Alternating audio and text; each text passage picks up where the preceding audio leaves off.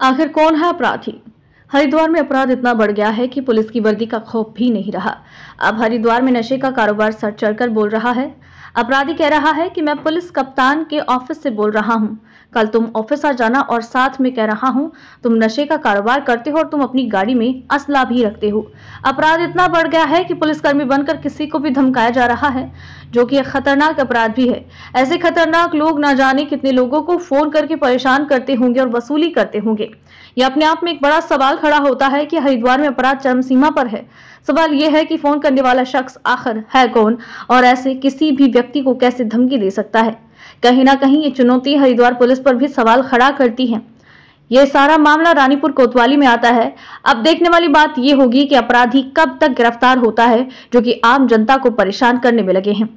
नवभारत समाचार के लिए उत्तराखंड के हरिद्वार से शहजाद अली की रिपोर्ट। ये बोल रहे थे कि तू इस माइक बेचता है, इस माइक तेरे कमरे पे इस माइक लेने वालों की लाइन लगी रहती है। अगर मैं एसएसपी के यहाँ से बोल रहा हूँ और वो पुलिस चौकी वालों को भी इंचार्ज को भी वैसे वैसे कह रहा हाँ। गाली गलौज कर रहा था। साथ भी गाली गलौज कर रहा था और मुझे बोल रहा था कि सुबह दस ग्यारह बजे एसएसपी ऑफ़िस पर आ जाना हरिद्वार।